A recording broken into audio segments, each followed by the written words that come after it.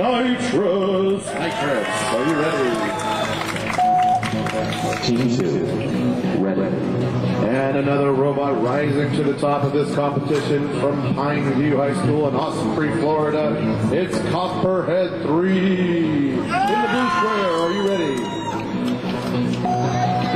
Team one, ready. Wait for the green light. Fight, robots, fight! Both robots are spinners. One's a thresher, one's a drum. One big hit and a pirouette from Copper Top. Oh, stop. They've broken Knightrous. Knightrous's thresher is broken. Could be bad news. He's not going to be able to spin very fast. Copperhead 3 still spinning. Knightrous still managing to get some hits.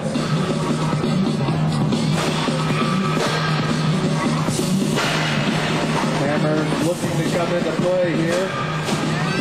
Copperhead getting lifted by Knightrous. Now he's trying to carry it to his hammer.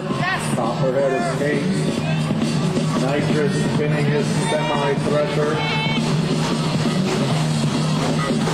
Looking to jig and jive his way over Copperhead. And still gets a big hit on Copperhead. Copperhead looking to sneak around to the side, trying to nibble or needle on perhaps. Knightrous still managing to dish out some big hits, even with only half of his thresher.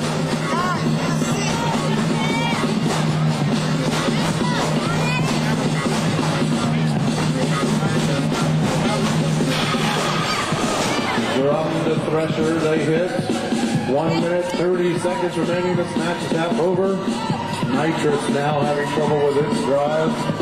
Both robots stuck with one-wheel drive now. Copperhead able to wiggle his way over using his pirouette maneuver.